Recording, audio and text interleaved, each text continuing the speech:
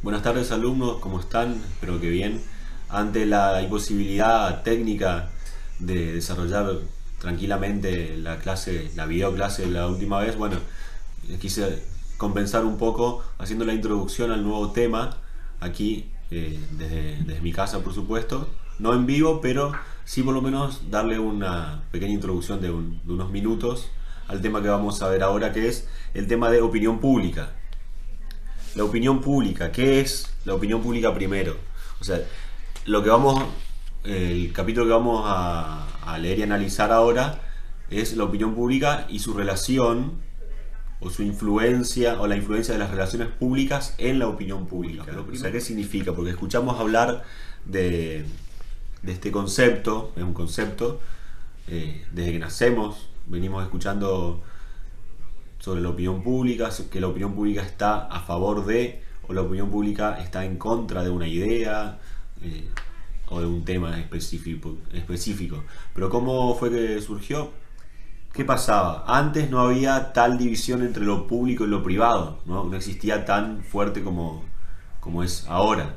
Cuando en la Europa del siglo XVI, XVII, por ejemplo en Francia, eh, de Luis XIV, el que el pueblo no tenía capacidad de opinar sobre algo o expresar su opinión sobre algo. Empezó a surgir esa posibilidad cuando se dieron algunos fenómenos en los siglos XVIII en Francia, eh, en Inglaterra, perdón, a principios del siglo XVIII y al final de ese mismo siglo en Francia y en Alemania.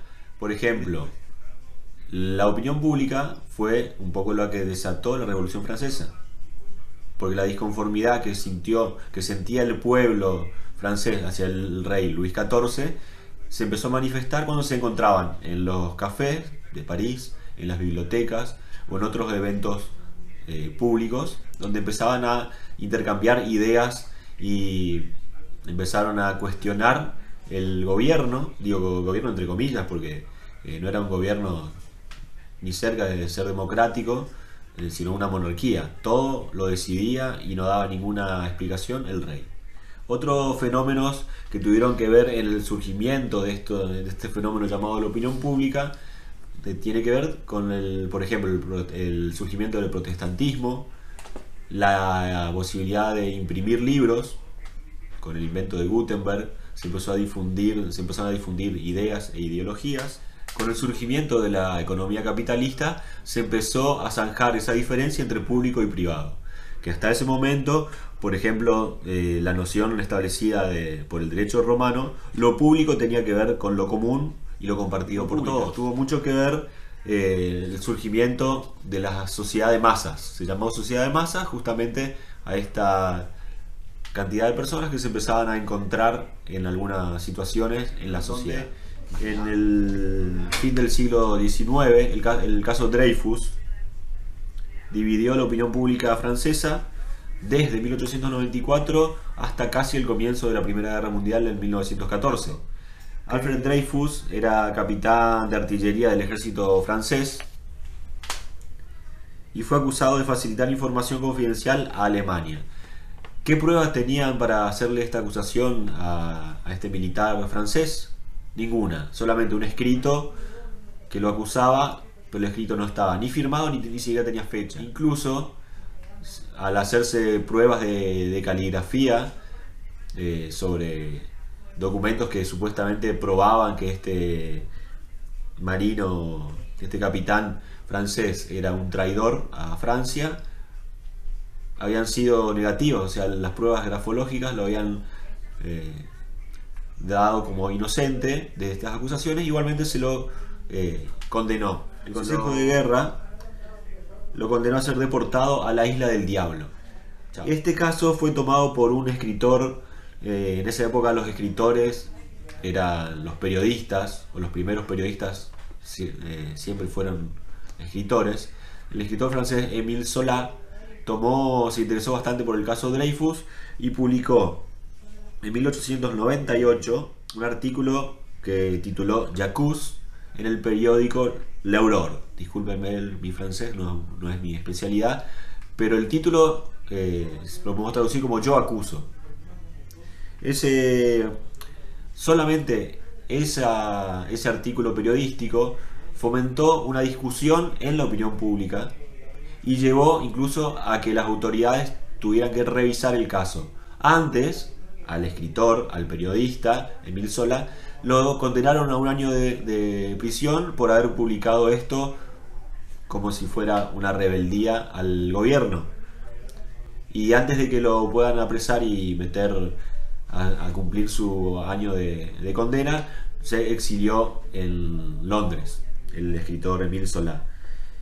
Pero esto, a causa de la inquietud que generó en la opinión pública, llevó a que se revise la causa y finalmente se haya detectado que el principal motivo era un antisemitismo, ya que eh, perdón, Dreyfus era judío, casi que no había otros, otros motivos para que lo hayan acusado y condenado aparte como lo habían condenado. Entonces, en 1906, eh, perdón, en 1899 se, lo, se le atenuó la pena, eh, se lo indultó y en 1906 varios años después, recién se le devolvió el cargo que tenía en el ejército. Donde la opinión pública fue influida, en este caso, por un medio de comunicación, por un líder de opinión, por un periodista, este escritor Emil Solá, y llevó a, a, que se revierta incluso un fallo judicial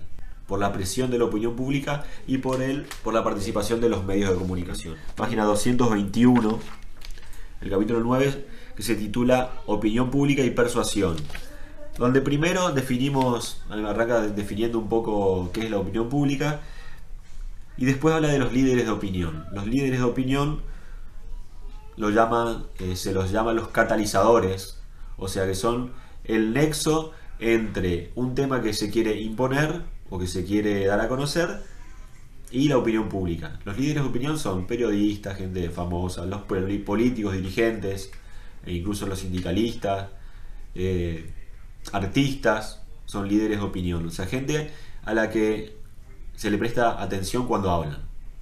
Pueden tener razón o no, o pueden haberse ganado ese derecho a opinar sobre unos temas o no.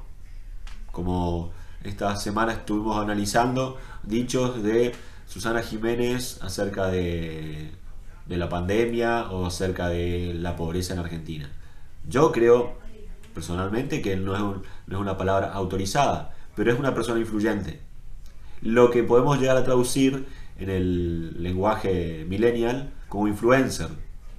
Influencer no solamente el que participa, que tiene sus actividades en Internet, en YouTube o en, Instagram, por ejemplo, sino eh, personas que tienen influencia en la opinión pública. A eso le podemos llamar influencers. Acá en el texto se le llama eh, líderes de opinión.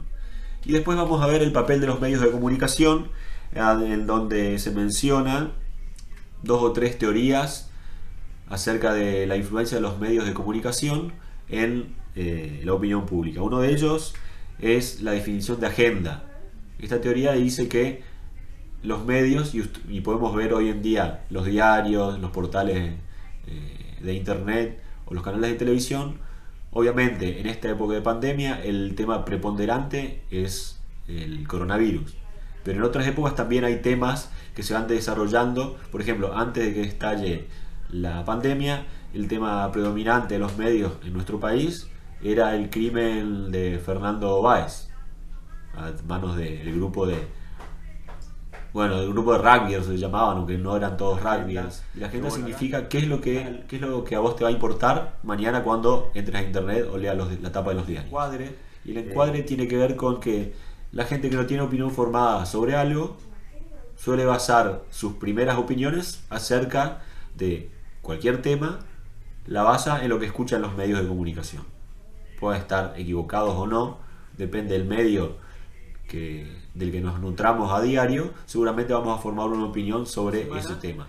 Y después, al final, habla sobre la ética y sobre la, ética de la persuasión y hasta dónde hacerle caso, por ejemplo, a un influencer, a una persona, a un líder de opinión, es legítimo sabiendo que tienen intereses y que muchas veces son pagos o que tienen intereses económicos o político muchas veces. Así que les dejo la lectura del, del capítulo 9. Las preguntas para el debate están en la página 251. Como siempre, van a tener este, esta consigna en el aula virtual.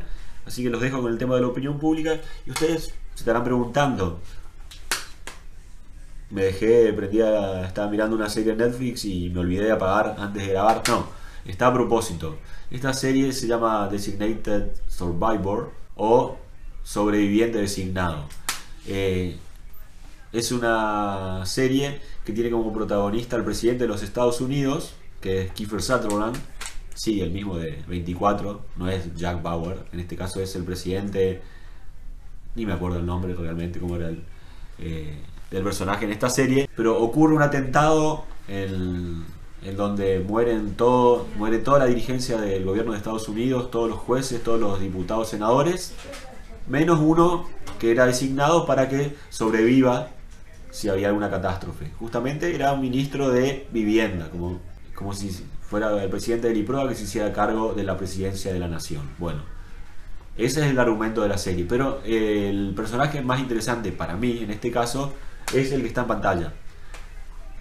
Seth Wright, nombrado secretario de prensa de la Casa Blanca, o más conocido como vocero del presidente de los Estados Unidos, es la persona que, antes de que hable el presidente, toma la palabra, presenta o maneja las preguntas, la conferencia de prensa, pero también escribe los discursos, hoy en día también maneja las redes sociales, pero el, el puesto en donde pongo el foco en esta serie, que es el del vocero o el secretario de prensa del presidente, es el que maneja las relaciones públicas y el que maneja o intenta influir la opinión pública obviamente siempre a favor de su jefe, que es el presidente de los Estados Unidos en este caso, y es el encargado de manejar, influir o convencer a la opinión pública mediante la creación de discursos o estrategias de comunicación que después quedan en la palabra del presidente.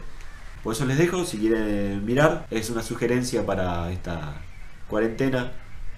Por lo menos la primera temporada alcanza para ver un poco cómo se trabaja el tema de la relación, las relaciones públicas desde un estadista. Esto sería todo por esta semana. Nos vemos virtualmente eh, mediante las actividades del aula y en una próxima videoconferencia en el caso de que nos pongamos de acuerdo para vernos cara a cara. Gracias chicos.